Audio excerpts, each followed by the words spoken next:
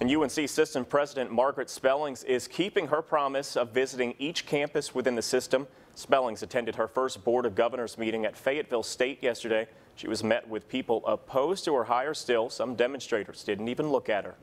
We decided to stand up when Margaret Spellings started speaking and turn our backs on her because we wanted to let her know that students across the state of North Carolina are paying attention. Spelling said the protesters demonstrated in a respectful manner and she's looking forward to building relationships. Now,